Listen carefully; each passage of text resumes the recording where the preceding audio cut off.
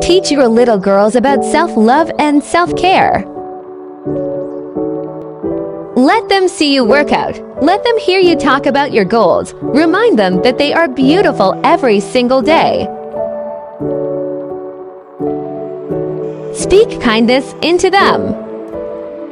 Teach them about self-love and self-care.